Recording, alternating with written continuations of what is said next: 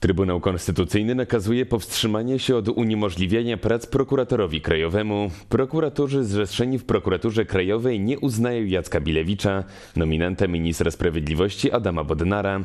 Z kolei prezydent domaga się rozstrzygnięcia sporu kompetencyjnego o to, kto odwołuje prokuratora krajowego. Trwa dwuwładza w prokuraturze. Nielegalnie odwołany przez ministra sprawiedliwości Adama Bodnara Dariusz Barski nie ma wątpliwości co do swojego statusu. Jestem prokuratorem krajowym, pierwszym zastępcą prokuratora generalnego.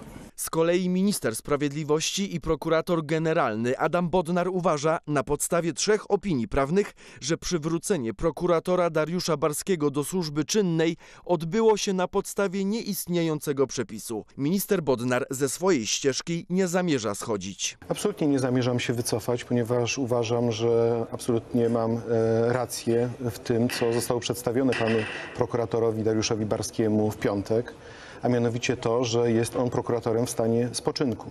Tymczasem obowiązujące przepisy w ustawie o prokuraturze mówią co innego. Nie ma zapisu, w którym minister sprawiedliwości w sposób arbitralny odwołuje prokuratora krajowego, zaznacza konstytucjonalistka profesor Anna Łabno. Takiej decyzji nie mógł podjąć, naruszył w ten sposób przepisy ustawy, ponieważ prokurator Barski został przywrócony ze stanu spoczynku we właściwy sposób zgodny z przepisami ustawy.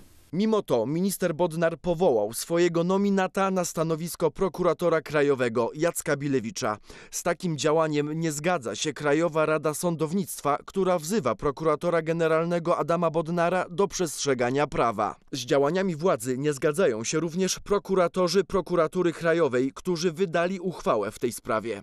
Prokurator Jacek Bilewicz nie mógł zostać i nie został skutecznie powołany na pełniącego obowiązki prokuratora krajowego, bowiem w dacie, w jakiej miało to nastąpić, nie istniała i nie istnieje nadal instytucja pełniącego obowiązki prokuratora krajowego. Z działaniami rządu Donalda Tuska nie zgadza się również prezydent. Wczoraj złożył do Trybunału Konstytucyjnego wniosek o rozstrzygnięcie sporu kompetencyjnego o to, kto może odwołać prokuratora krajowego. Proszę zaniechać prób naruszenia prawa. Trybunał Konstytucyjny jeszcze tego samego dnia nakazał Adamowi Bodnarowi powstrzymanie się od działań uniemożliwiających sprawowanie funkcji przez Dariusza Barskiego. Wstrzymał też decyzję o powołaniu nominata ministra Bodnara Jacka Bilewicza. Trybunał Konstytucyjny w obecnym kształcie dla nas nie istnieje, mówi poseł Koalicji Obywatelskiej Dariusz Joński. Uważam, że tylko fasada została w tym, tego budynku. Wydaje się, że już chyba nikt poważnie tego, e, tych ludzi, którzy tam są w tym budynku nie traktuje. Zatem można się spodziewać, że tak jak w przypadku orzeczeń Izby Kontroli Nadzwyczajnej Sądu Najwyższego, koalicja władzy nie będzie respektowała orzeczeń Trybunału Konstytucyjnego. Pomimo tego sprawy przyspieszają i minister Bodnar chce za około dwa miesiące rozpisać konkurs na stanowisko prokuratora krajowego. Ten plan ma wsparcie szefa kancelarii premiera Jana Grabca. Pozwali stanąć na takim twardszym gruncie. Obawiam się, że będzie to trudne, dlatego że wiemy, jakie stanowisko ma PiS. Nie akceptujemy żadnego konkursu, ponieważ legalnym prokuratorem krajowym jest Dariusz Barski, podkreśla poseł Prawa i Sprawiedliwości Krzysztof Szczucki. To stanowisko będzie obsadzone.